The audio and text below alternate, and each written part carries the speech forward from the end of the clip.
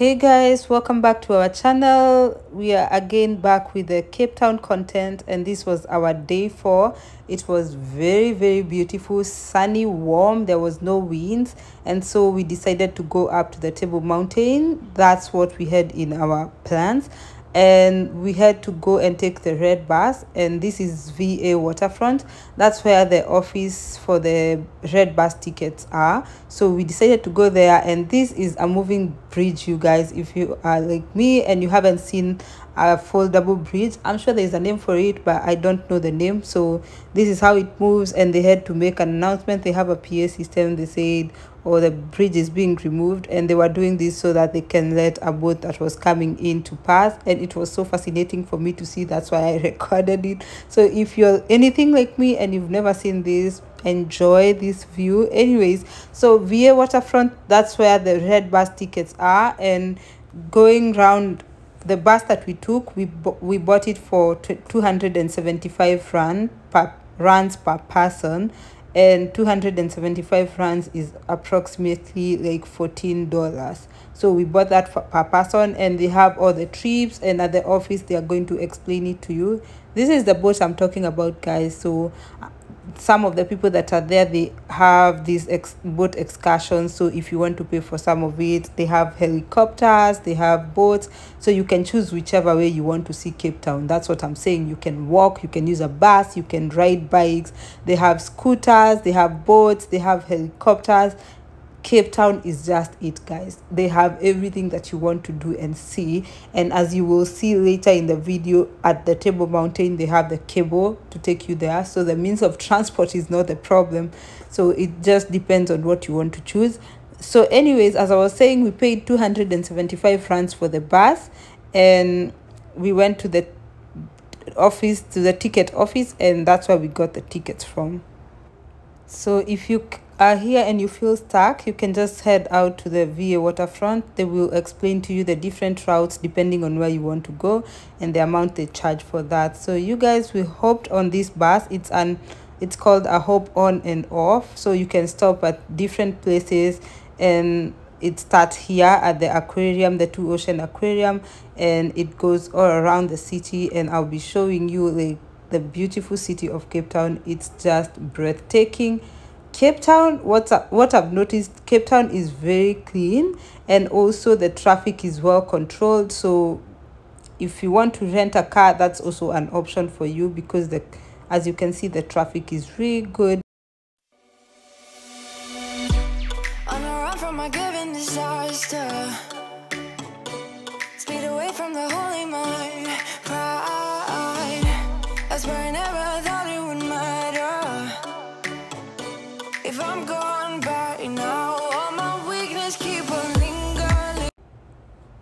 So guys, we made it to the foot of the Table Mountain and this is where the offices for paying for the cable car tickets are. Luckily, when we got there, we were able to see one cable car coming down and that's how we were able to record it. So we paid $36 for the ticket for both of us. So it was around 18 $18 per person for a return ticket which in my opinion i think it's very affordable. Considering if i had to hike this mountain i would probably take the whole day. Can you hike can you hike table mountain? I think so. Because i saw there were so many trails and also considering the number of people as you guys can see there are so many tourists going up. I i think it's safe to be up on table mountain but i'm not sure about the trails but since they are there i'm assuming people hike table mountain so. We went in the afternoon at around 2 so the waiting queue was not as long but the woman that was at the um, ticketing office she said that in the morning the queue the queue can be a bit long. So we waited here for like 20 minutes to get into the cable car just after the payment and then getting going up the table mountain using the cable car takes only four minutes. When you get there they just let you free and you can walk around and then wait in line again for the cable to come down.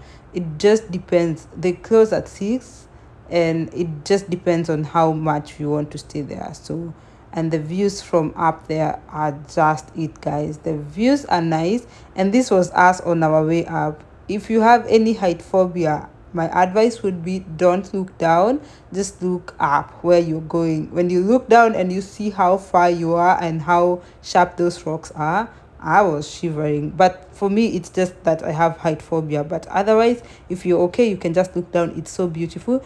But I prefer looking up. It was so good looking up because the rocks are as beautiful as you can see them. And then we got to the top, and these are the views.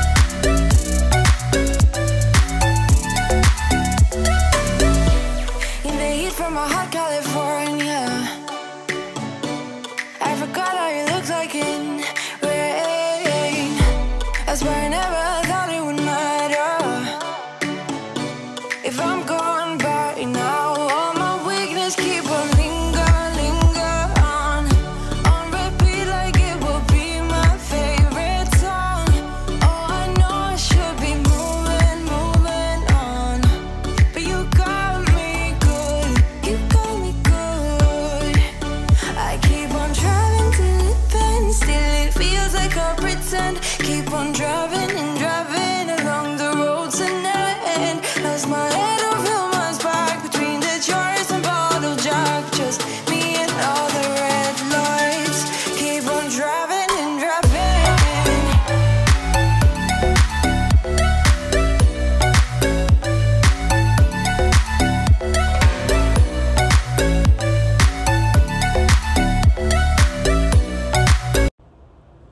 on the other side of the table mountain you'll see the camps bay area and this is where all these people are seated. These people have made a restaurant. There are restaurants here there are restrooms if you want to and this is the camps bay area. You just see the ocean the beaches and just how they've built all these houses. They have all the residential areas here and it's just perfect watching it